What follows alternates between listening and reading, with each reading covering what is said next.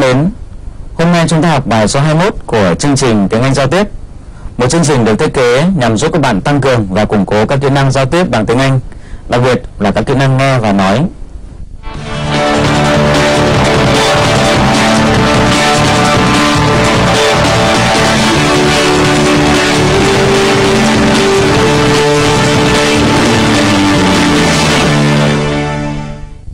Unit 21 Single or Day Trip Chương trình giúp các bạn tăng cường các kỹ năng trên thông qua một câu chuyện về một cô gái người Singapore sang Australia để tìm đứa em trai của mình. Khi kết thúc bài học trước, chắc các bạn còn nhớ là Anne đang đi đến trường đại học nơi David, em trai của cô, đã theo học mấy năm trước. Xin mời các bạn theo dõi lại băng và ôn lại cách sử dụng trạng từ chỉ cách thức.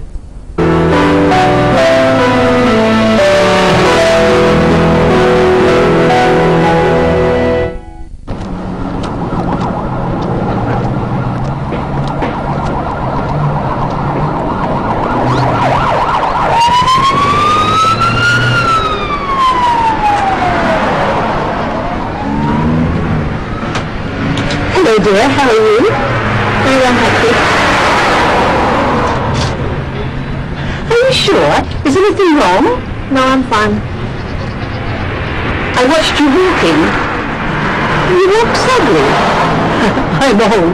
I walk slowly, but you walk slowly. Well, I do have a problem. Not too serious, I hope. I don't know. I hope not. Worrying doesn't help, my dear. Think positively, it helps. Do something. Take action. You'll be all right. I hope so. Thank you. Where are you from, dear? Singapore. Speak English very well. Thank you. Sometimes when people speak very quickly, I can't understand. Don't worry. I speak slowly. And I see badly these days. What number bus is that, dear? It's 190. At last. It was nice talking to you. You too.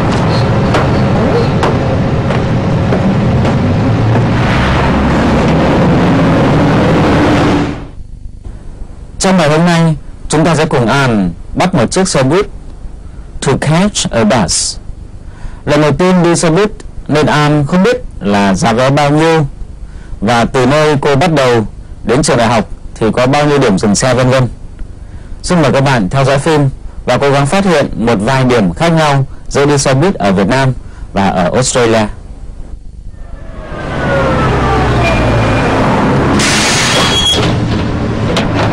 To the university? Yes, miss. How much is that? Single or day trip? Sorry? Are you coming back today? Yes. How long will you be at university? Uh, I'm not sure. An hour perhaps? Ah, single will do. You can use the same ticket to come back. That's three dollars, please. How far is it? Uh, not far. About four kilometres from here. And how many stops is it? About ten. Thank you.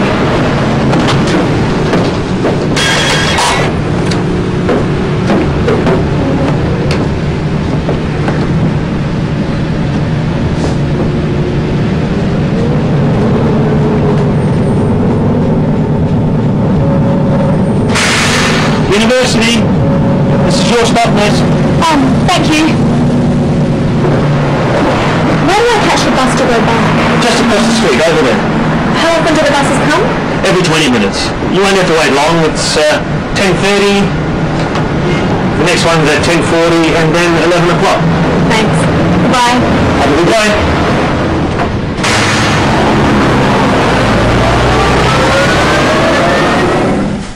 Người lái xe nói hơi nhanh phải không các bạn? Lát nữa chúng ta sẽ làm một số bài tập nghe hiểu để hiểu rõ hơn và nhớ nội dung của bài. Còn bây giờ các bạn hãy cùng chúng tôi theo dõi một số điểm khác nhau khi đi xe buýt ở Australia và ở Việt Nam.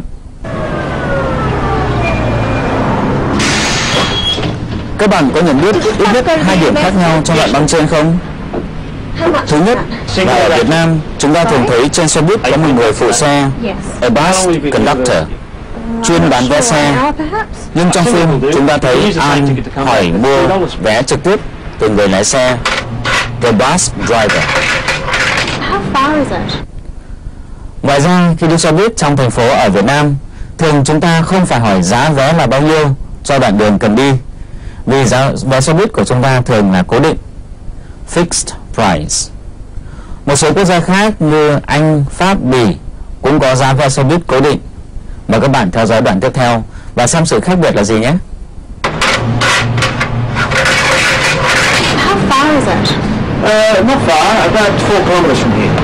How many stops is it? About ten. Thank you.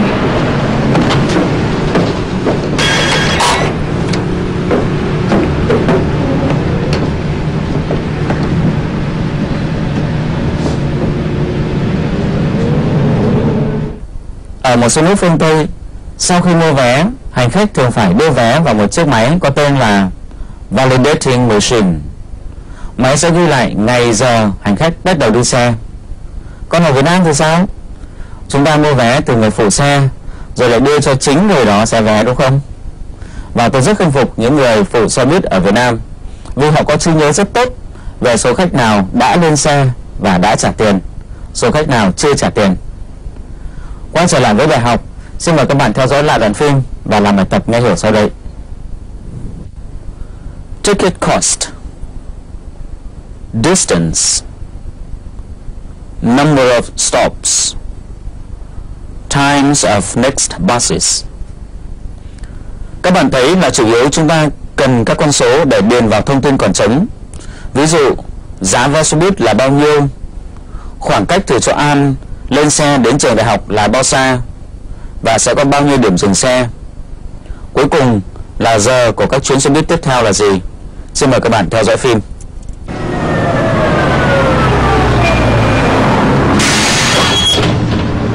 Does this bus go to the university? Yes, miss. How much is that? Single or day trip? Sorry? Are you coming back today? Yes. How long will you be at university? Uh, I'm not sure. An hour perhaps? Uh, single will do. You can use the same ticket to come back. That's three dollars, please.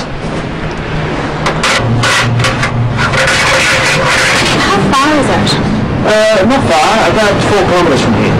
How many stops is it? About ten. Thank you.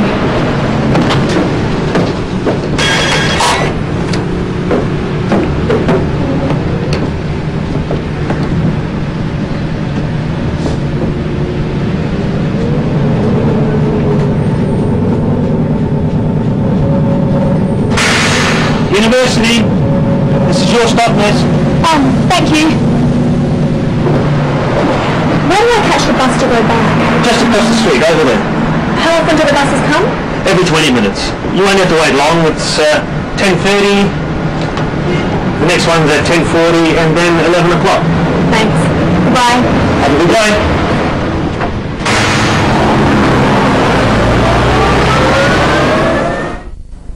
Chúng ta thấy là người lái xe buýt rất nhiệt tình trả lời tất cả các câu hỏi của An. Có lẽ ông đoán được An là người nước ngoài. Xin mời các bạn theo dõi lại phim và kiểm tra đáp án.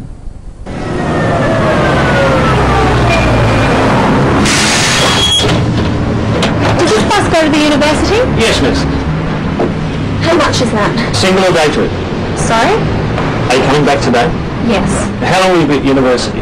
Uh, I'm not sure. An hour perhaps? Uh, single will do. You can use the same ticket to come back. That's three dollars, please. How far is it? Uh, not far. About four kilometres from here. How many stops is it? About ten. Thank you.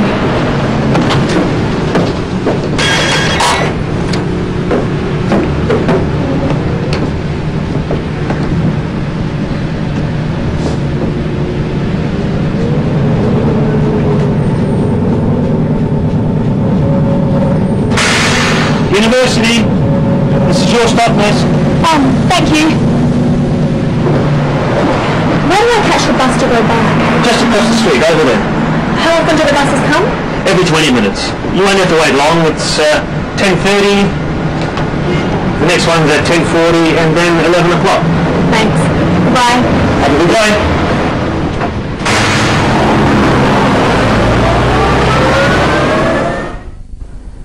Các bạn thân mến, chắc các bạn còn nhớ là sau khi An hỏi giá vé Thay vì trả lời, người lái xe buýt nói câu gì đó mà An cũng không hiểu. Chúng ta cùng theo dõi lại đoạn này.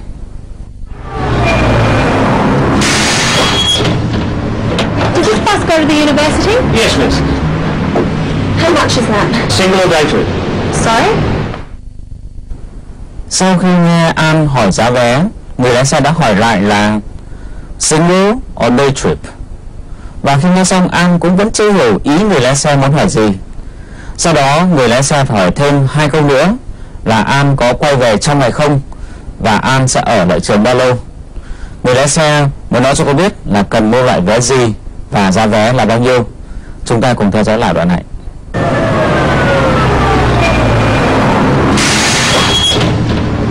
Did this bus go to the university? Yes, miss. How much is that? Single or day trip? Sorry? Are you coming back today? Yes. How long will you be at university? Uh, I'm not sure. An hour perhaps? Uh, single will do. You can use the same ticket to come back. That's three dollars, please.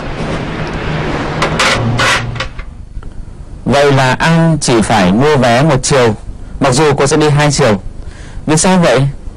Mời các bạn theo dõi lại đoạn trên Và chú ý vào câu trả lời của An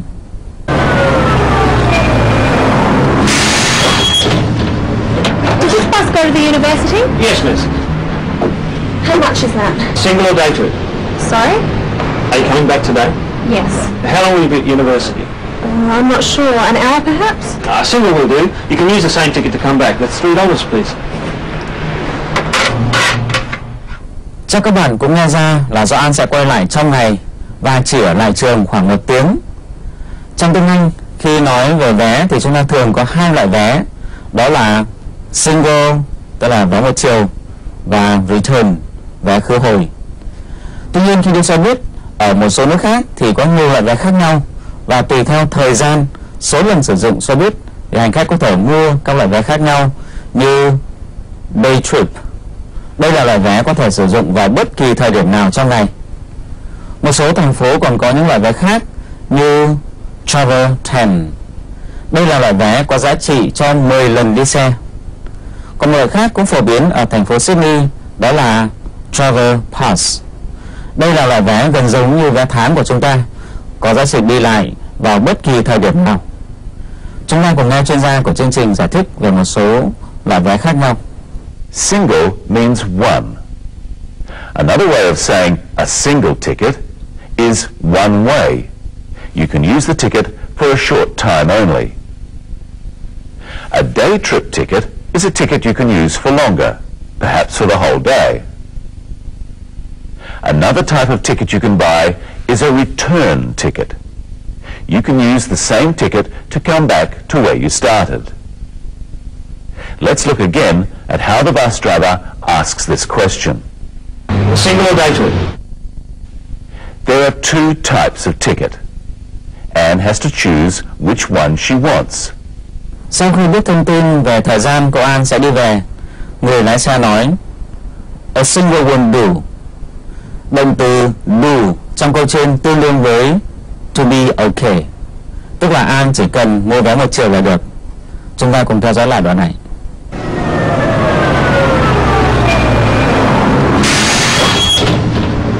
Did this bus go to the university? Yes, miss. How much is that? Single or day trip? Sorry? Are you coming back today? Yes. How long will you be at university? Uh, I'm not sure. An hour perhaps? Uh, single will do. You can use the same ticket to come back. That's three dollars, please. Chúng ta cùng luận nói. Trước hết xin mời các bạn nhắc lại câu hỏi của An khi muốn biết chiếc xe buýt cô đi có đến trường đại học không. Các bạn chú ý lên giọng ở cuối câu hỏi. Did this bus go to the university? Chúng ta cùng luyện với chuyên gia của chương trình. Hãy đặt câu hỏi tương tự với các điểm đến khác nhau như gợi ý. Practice with some other destinations. The city. Does this bus go to the city? The beach. Does this bus go to the beach? Trong trường hợp chúng ta không biết phải đi xe nào để đến được điểm cần đến, chúng ta dùng câu hỏi bắt đầu bằng từ hỏi which. Trong trường hợp này, chắc chúng ta phải hỏi người bán vé xe buýt ở các quầy bán vé, chứ lên xe rồi mới hỏi thì cũng ra phải không có bạn. Chúng ta cùng lời câu hỏi dạng này với chuyên gia của chương trình. Which bus goes to the university? Try this with some other destinations. The airport. Which bus goes to the airport? The shopping centre. Which bus goes to the shopping centre? Chắc các bạn có nhớ là trong bài này chúng ta gặp rất nhiều câu hỏi với từ how như how long, how much, vân vân. Trước hết xin mời các bạn nghe lại câu hỏi sau của người lái xe. How long will you be at university? Uh, I'm not sure. An hour perhaps? How long will you be at university? Uh, I'm not sure. An hour perhaps? Chúng ta dùng how long để muốn biết về khoảng thời gian cần thiết để làm một việc gì đó. Xin mời các bạn cùng luyện với chuyên gia của chương trình. Trước hết, hãy nhắc lại câu nói trên. Sau đó, các bạn hãy tự đặt câu hỏi với how long theo gợi ý. How long will you be at the university? How long will you be at university? Try asking how long about some other things. Will you be gone?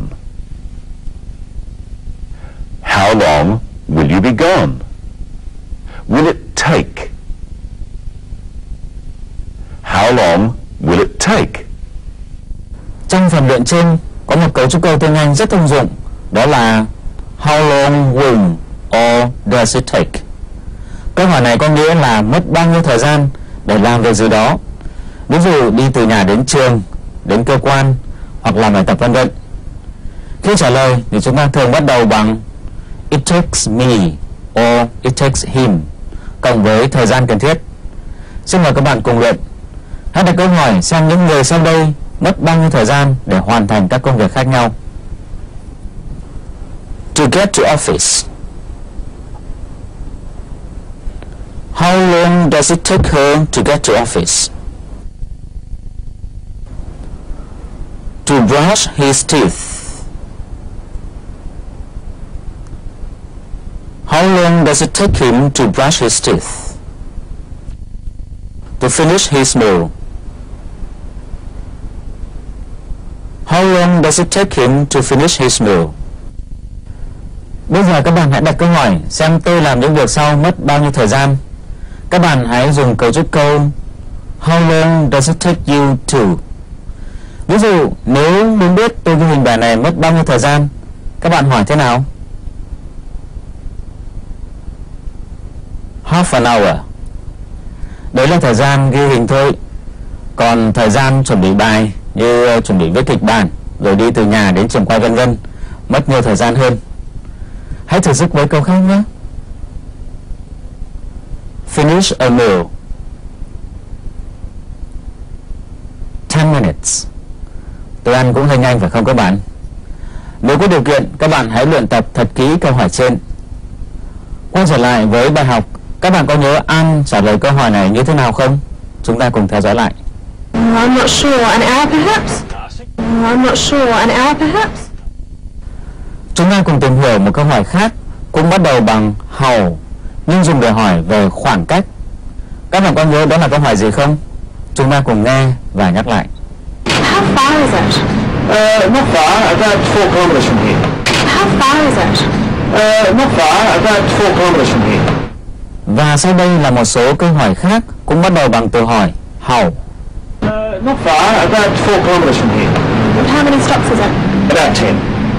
Thank you. Uh, not far, about four kilometres from here. How many stops is it? About ten. Thank you. Chúng ta cùng luyện với hai chuyên gia của chương trình về các câu hỏi bắt đầu bằng how. Chúng ta bắt đầu với câu hỏi how long. Như đã trao đổi trong phần trên, câu hỏi này thường dùng để hỏi về thời gian. Nhưng chúng ta cũng có thể dùng nó để hỏi về chiều dài của một cái gì đó. Xin mời các bạn theo dõi. Here's a piece of rope. How long is it? I'll have to measure it.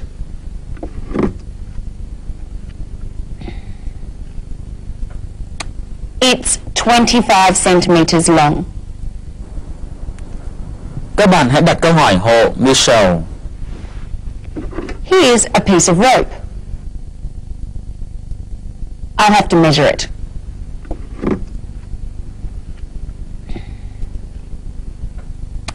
It's 25 centimeters long. Các bạn có thấy là trên bàn của Branton và Michelle có một chiếc hộp không? Chúng ta hãy cùng luyện đặt câu hỏi bắt đầu bằng how để biết về kích cỡ của chiếc hộp như chiều dài, chiều rộng và chiều cao. long. Wide, high. Xin mời các bạn nhắc lại các câu hỏi của Michelle. How long is it?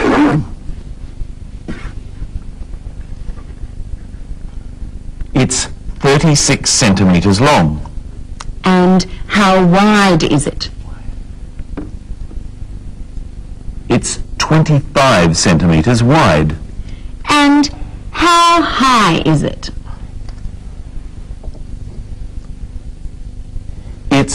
20 centimeters high. Sau đây, chúng tôi cho lên hình lại đoạn phim trên, nhưng chỉ có hình mà không có tiếng. Các bạn hãy nhắc lại các câu hỏi và câu trả lời của hai chuyên gia.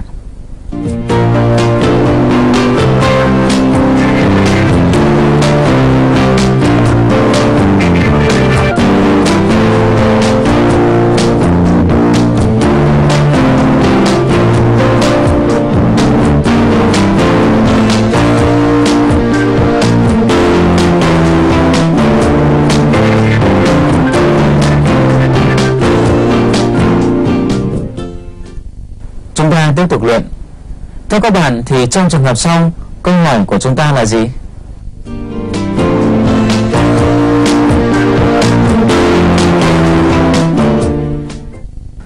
Chúng ta sẽ cùng theo dõi lại đoạn này. Nhưng theo các bạn thì khoảng cách giữa hai chiếc cốc là bao nhiêu? Xin mời các bạn theo dõi. Ở cuối đoạn này, Brenton hỏi một câu hỏi rất là lạ. Đó là câu hỏi gì vậy? Chúng ta cùng theo dõi. Here are two cups. How far is it from this cup to that cup? It's 28 centimeters. So we use how far to talk about the distance from one place to another place, and how long to talk about the length of one object. How long are you, Michelle? We don't use how long to talk about people, we use how tall. How tall are you? Vậy là chúng ta không dùng how long khi hỏi về chiều cao của ai đó mà dùng how tall. Mời các bạn trả lời câu hỏi của Michelle. How tall are you? How tall are you? Các bạn thân mến, như vậy chúng ta có thể dùng rất nhiều tính từ sau từ hỏi how để hỏi về đặc điểm của người hoặc đồ vật chúng ta đang nói tới. Chúng ta thấy trên bàn Michelle có một cuốn sách. Vậy theo các bạn thì chúng ta có thể dùng những tính từ gì sau từ hỏi how để hỏi về cuốn sách đó? Theo các bạn thì chúng ta có thể đặt những câu hỏi gì? Cho phép tôi gợi ý một số chữ cái đầu của các tính từ cần dùng nhé. Thick Interesting Useful Xin mời các bạn cùng luyện với Branton và Michelle. Here's a book. What can you ask about the book? I could ask, how thick is that book? It's very thick. What else? How interesting is that book? It's very interesting. It's all about English words. How useful is that book? It's quite useful if you're studying English. Chúng ta cùng tiếp tục luyện tương tự với ly cà phê của Branton. Theo các bạn thì chúng ta có thể đặt những câu hỏi gì? Cho phép tôi gợi ý một số chữ cái đầu của các tính từ cần dùng đến. Hot Sweet Good Here's my coffee. What can you ask about the coffee beginning with how? How hot? Now you ask. How hot is your coffee? It's very hot. Sweet. How sweet is your coffee? It's not sweet at all. I don't like sweet coffee. Good. How good is your coffee? It's pretty good. Còn một câu hỏi nữa cũng bắt đầu bằng how trong đoạn này. Đó là câu hỏi gì? Chúng ta cùng theo dõi lại. How often do the buses come? Every 20 minutes. You won't have to wait long. It's uh, 10.30. The next one's at 10.40 and then 11 o'clock. She asked, how often do the buses come? How often means how many times a day or how many times an hour. Các bạn đã học câu hỏi này trong một số bài trước đây. Các bạn có nhớ là khi trả lời thì chúng ta dùng những từ gì không? Hãy nhắc lại cùng chuyên gia. Repeat them after me. Never. Occasionally. Sometimes. Often. Always. But you can also add words to these. Very often. Fairly often. Not very often. Các bạn thân mến, trước khi kết thúc bài học ngày hôm nay, xin mời các bạn theo dõi lại toàn bộ phim và ôn lại những cấu trúc câu thông dụng thường được dùng khi đi xe buýt ở nước ngoài và các loại câu hỏi bắt đầu bằng từ hỏi how.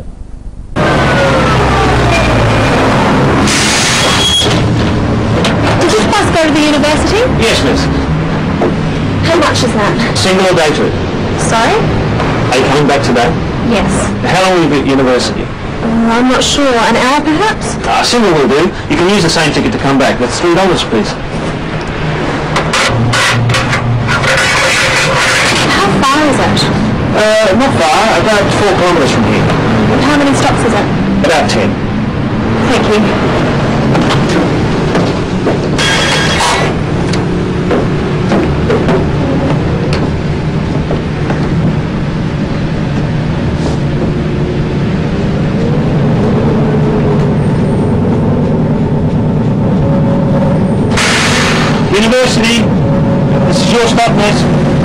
Thank you. Where do I catch the bus to go back? Just across the street, over there. How often do the buses come? Every 20 minutes. You won't have to wait long. It's uh, 10.30. The next one's at 10.40 and then 11 o'clock. Thanks. Bye. Have a good day.